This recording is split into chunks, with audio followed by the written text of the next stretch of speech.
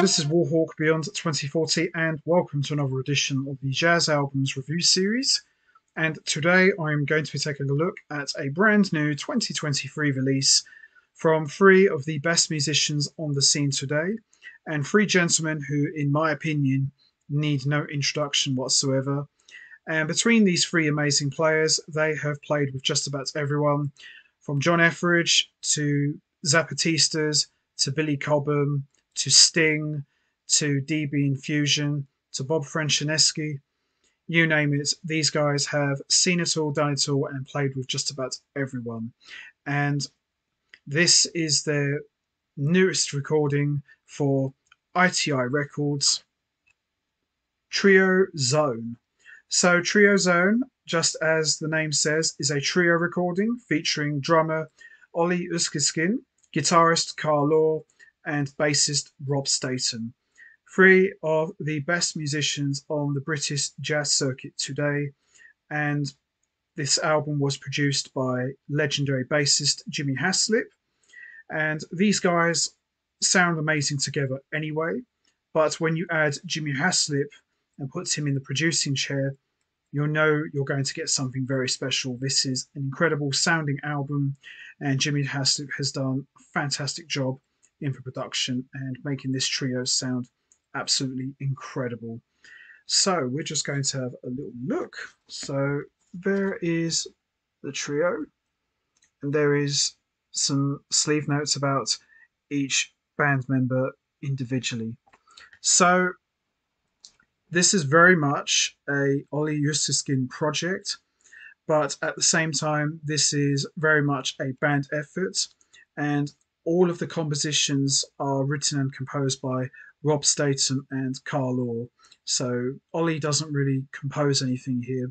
He's more or less responsible for putting this band together and bringing these two musicians in and letting them do what they do best, and that's compose and play their ass off. So all of the compositions are written and composed by Rob Statham and Carl Orr. So we have four compositions written and composed by Rob Statham and four compositions written and composed by Carl Orr. And individually, each musician sounds absolutely fantastic.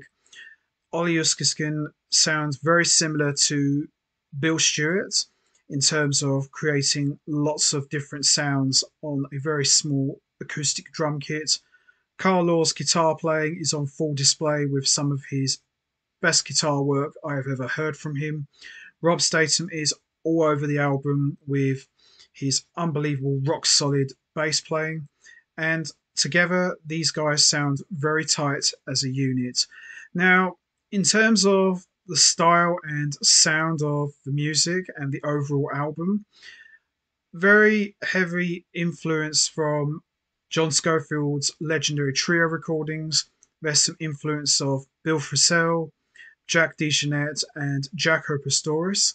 And what Trio Zone do is they don't just copy those names that I mentioned.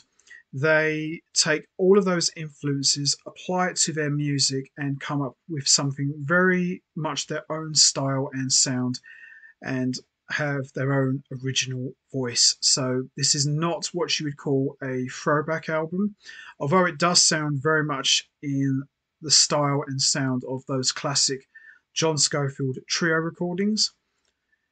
Ollie, Carl, and Rob together create their own unique sound. So when you hear these guys, you know straight away it's them. So they're not a copycat of those guys that I mentioned, although they do sound very similar. They're very much their own band, their own thing, their own entity, so to speak. So tracks we got here is Steady Eddie by Rob Statham, Stand Alone by Carl Orr, Slow Dance by Carl Orr, Return of the Jazz Police by Carl Orr, Messing by Rob Statham, Crossing the Ocean by Carl Orr, and Corner Pocket and Blue Shift, both by Rob Statham. So it's a great collection of songs, and we get to see and hear Carl Orr and Rob Statham really strut their stuff and deliver some fantastic playing. Ollie Usiskin is all over the album with his incredible drumming, and as I said, doesn't get any better than this. If you like guitar trios or you're a fan of those classic John Scofield trio albums, highly recommend you check this out. It's a really good album. And as I said, great sounding album as well, courtesy of the legendary Jimmy Haslip. So the standout tracks for me are Return of the Jazz Police, which is the longest track of the entire album at 7 minutes and 50 seconds. Corner Pocket, Standalone, and Steady Eddie, but great collection of songs from start to finish. And I've listened to this album several times already, and it's really, really good. And got to see this band recently.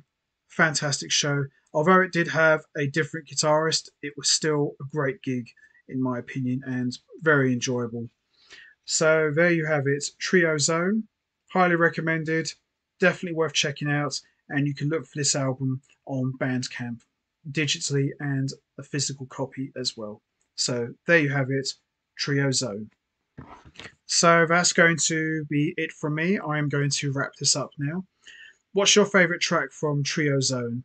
Steady Eddie, Standalone, Slow Dance, Return of the Jazz Police, Messing, Crossing the Ocean, Corner Pocket, or Blue Shift? Or did you enjoy the entire album from start to finish? There's no right or wrong answer. We all have our favourite tracks. You know what to do, guys. Hit the like button, hit the subscribe button, leave your thoughts and comments down below. And I will see all of you next time for another edition of the Jazz Albums review series. So until next time, take care, everybody, and stay safe. And once again, as always, much appreciated. Thanks for listening.